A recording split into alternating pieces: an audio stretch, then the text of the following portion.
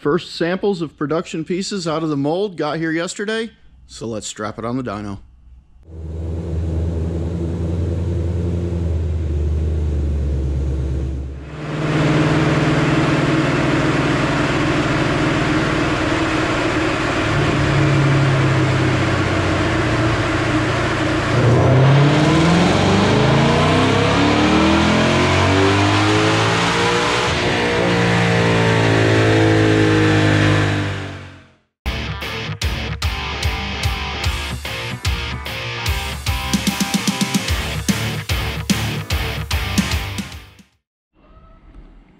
So inevitably, every time somebody posts a dyno video, there's somebody in the crowd that's got to say, what you got the hood up? Why don't you close it?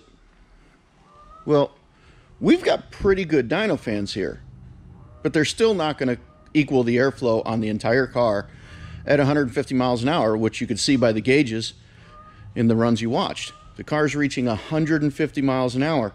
You close this hood with only small fans, you're not going to simulate the same amount of airflow that you would at 150 miles an hour. All you're doing by dynoing the car with the hood up is just letting close to ambient air get to the filter. Typically on the dash, you can see there's a two to three degree temperature difference. It's usually above because it's sitting down in the engine compartment.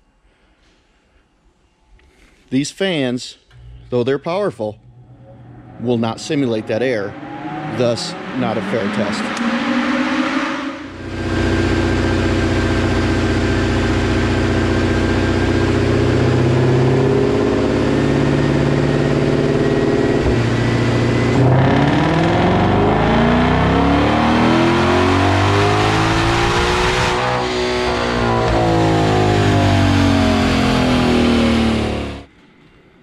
So we're using HP tuners to data log the car just to make sure that we're making the runs at the same coolant temp, all right around, you know, 180, 185.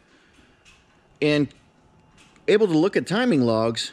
And this car bone stock was running 17 and a half to 18 and a half degrees of timing. And when we put the JLT on, the timing stayed the same. So the, the power difference is just from airflow. But it's kind of crazy this car making 726 and 586 with nothing but a JLT intake. We'll run it again on Monday and see what happens.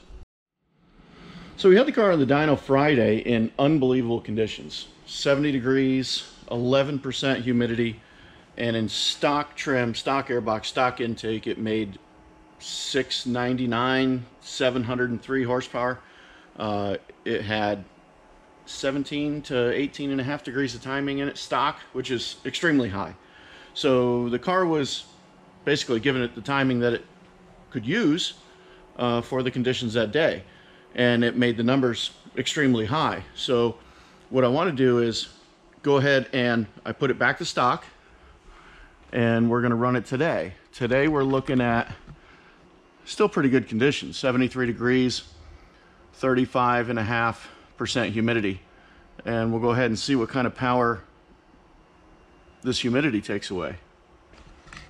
But it's really about the before and after, and it still made 23 horsepower. We only ran it once. It could have made more, it could have made less after that, but that's all we did.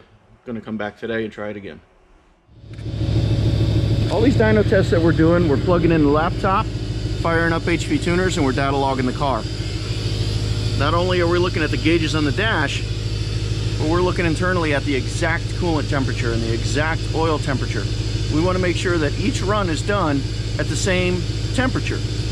Variance in coolant temp can be a variance in timing. And now we can also monitor timing as well. So we make sure that each run has got the same coolant temperatures. So when we give you the numbers, we know they're repeatable.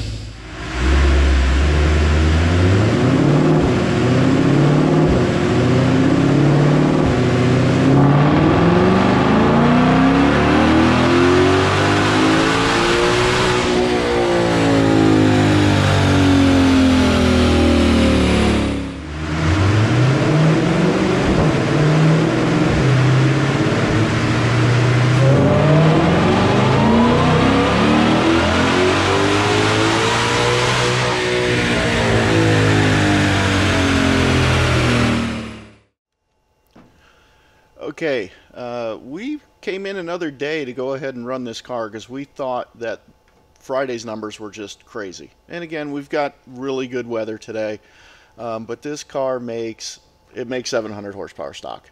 Um, it's got 1500 miles on it. It's well broken in, so it made 703 and 576 uh, bone stock. That's the green run here.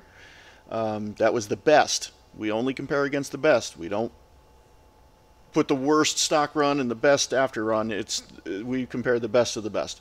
So you've got 703, uh, the best JLT run, 740 and 587. Um, so you're looking at some pretty pretty big gains there from just the intake. Uh, you can see here if you look at the cursor right here at the end of the graph uh, where the looking at 7300 RPMs, we're at 700 uh, bone stock and 735 with the JLT. Uh, come down lower into uh, 7,000 RPMs. We're at uh, 684, almost 685, and 717. You're looking at 32. Uh, and the torque as well. You're looking at 507 to 531, five, almost 532. Um, 500 to 525 torque. Uh, that's 25 foot-pounds of torque. Uh, 661 to 693. You know, that's amazing all the way across, all the way from down here. You know, down, you know, five grand, 5,500, it just starts to scream. So what I want to do now is we're going to uh, put a video camera on the gauges and I want to show you what uh, the under hood temperatures are while we're at wide open throttle on the track.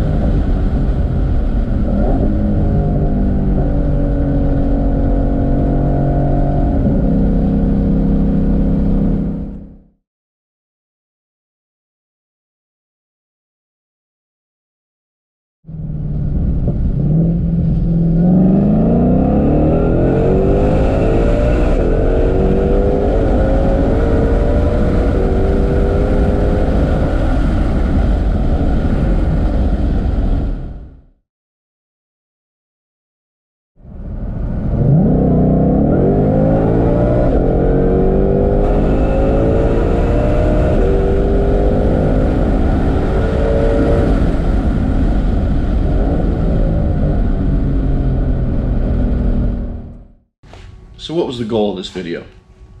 Basically to show you that we're enthusiasts and we want to do things as thorough as possible. We want to make sure that when you purchase a product from JLT, you can take that product and you can see how we did the test and you could go to your local dyno shop if you wanted to and you could replicate it and you could see those same results. That's why we show you how we data log and we, we monitor inlet air temps, we monitor coolant temps, we monitor oil temps. We want to make sure that they're the same because it does me no good if we do a very low baseline and a very high ending run and you don't see those results. We also want to show you that we took the time to do the R&D and make sure that this is exactly what we wanted to send out to the customer. We made sure that this seals to the hood as much as possible. It's open on this side, but it's open on this side because it's still getting fresh air from the fender. But we also have this large duct that's bringing air from the grill to the filter. That's why we showed you those videos on the street looking at the inlet air temperatures at wide open throttle. Uh, when you're doing an eighth mile run or a quarter mile run, we get we see comments online, people talking about, oh well, your underhood temps are, are high. That's why you should dyno with the hood closed. It's more realistic. Uh, it's not realistic. You can see that the inlet air temps at wide open throttle at 135 miles an hour are three to four degrees above ambient. They're not 100 degrees that's why we dyno with the hood up, which also brings us to that. You can see that we've got pretty decent dyno fans, but they're not going to simulate 130 to 150 miles an hour of air flowing over the entire hood. Dynoing with the hood up is only getting near ambient air to that filter, which is what you see on the street. That's realistic. That's apples to apples. You close that hood, that temperature goes up because you've got small dyno fans and your, the car sitting still you're not going to have apples to apples tests. So that's why we do that, and that's why we're trying to show you that. In the end, we feel we've got the best kit out there for the 2020 GT500, and we hope you agree.